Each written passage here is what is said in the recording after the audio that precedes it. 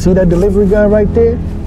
Once he go in, we gonna slide in right after him, and it's home. Let's hit this motherfucking lick, man. Tonight, there's something special to talk about. Drugs are menacing our society. All my product is gone. And I have a dead security guard on my brewery floor. You going with this nigga? This our shit. That's 90K clean. Hey, hey, homie, hey, hey. Any idea who? If I knew who, they'd already be dead. I told you, motherfucking ass! Wake the fuck up! Get the fuck out!